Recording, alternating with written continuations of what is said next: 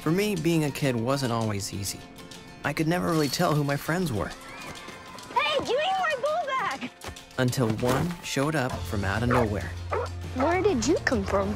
Hello, I'm Ted Baehr, publisher of MovieGuide.org. And I'm Evie Carroll, his daughter, and this is your family guide to movies and entertainment. The Stray looks like a good movie, but I feel like I'll be crying the entire time, right? No, you're not going to be crying, but it's a heartfelt movie.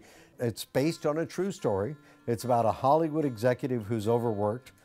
What do you think? His son Christian feels that he's abandoned, he's bullied at school, he's not happy.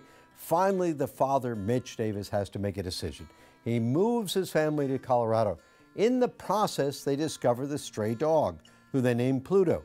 And the stray dog gets him out of all sorts of circumstances and bad situations. He's sort of like Lassie. He protects the boy from bullies. He does other things. And when they get into the mountains, they're trapped in a storm with some of his friends. And who's going to save them? Well, we can't tell you. So the dog is helping the family kind of unite, and there's a beautiful message in that, correct? There's a good message about the marriage being restored, the father son being restored, so it's an interesting movie. Take a look at the full review of The Stray at movieguide.org.